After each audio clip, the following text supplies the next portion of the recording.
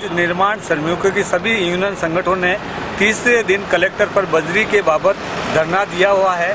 ना राज्य सरकार, ना प्रशासन उनकी सूंग ले रही है, ना कोई आश्वासन दे, दिया जा रहा है और जिससे मजदूर नाखुश हो रहे हैं और अगर सरकार ने सोमवार तक हमें आश्वासन पूर्ण रूप से ना दिया गया तो हम उग्र